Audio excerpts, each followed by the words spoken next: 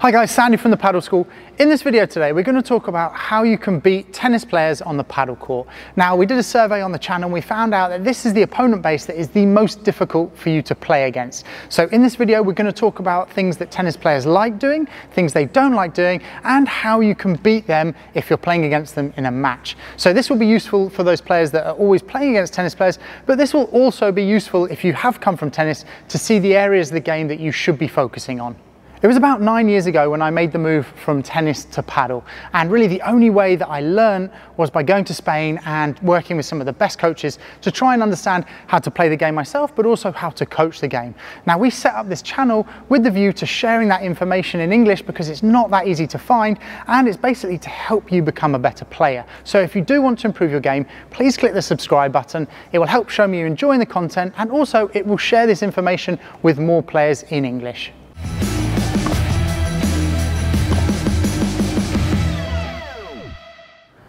So to begin with, let's talk about the area of the game that tennis players like. So the volley and the net position is probably the most comfortable for a tennis player because the technique is so similar to that of tennis.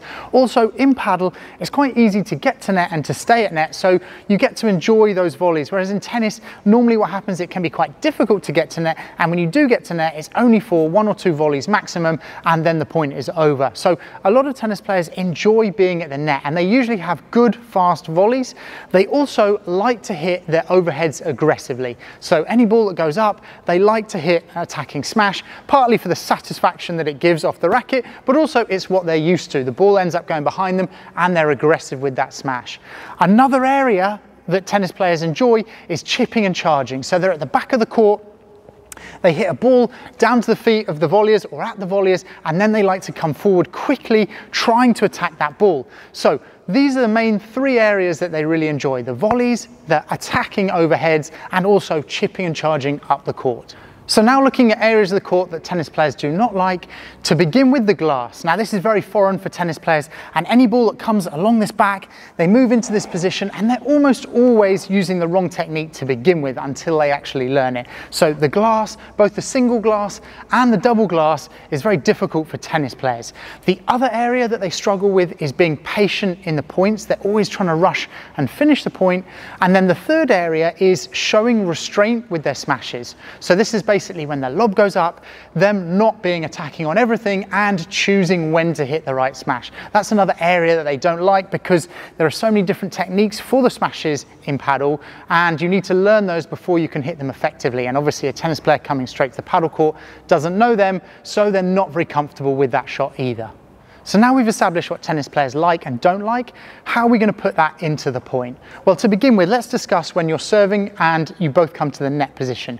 From the net position, you've got to think of a few different things. Firstly, if you hit any volley short or halfway up the court, they're probably going to try and chip and charge. That means they're going to try and play fast to you and then run up the court. But the problem with them doing that is that they won't be in a good position. They'll end up in no man's land.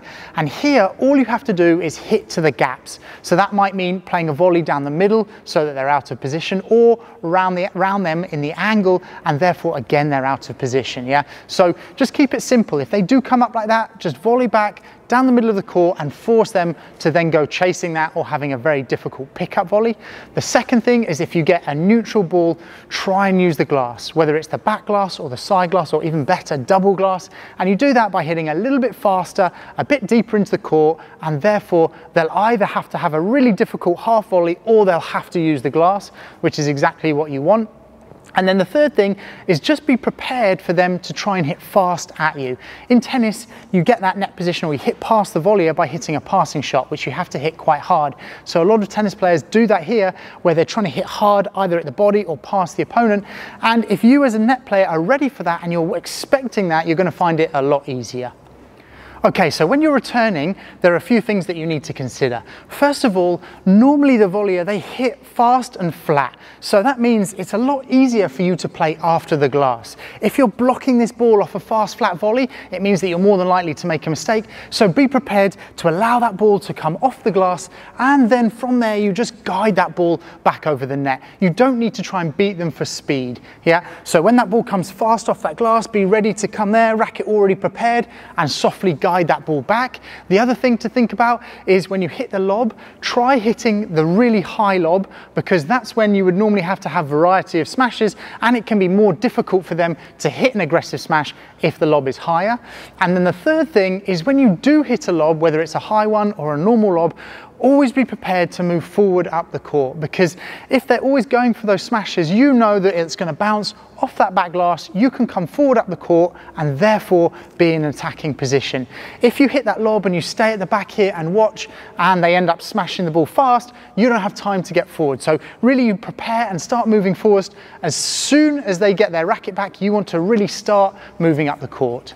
So if you are a tennis player, firstly, sorry about giving away your padel secrets, but also it shows that there's a few areas of the game you need to work on. You need to work on that being patient, you need to work on getting comfortable and confident around the glass, and then you also need to work on your overheads.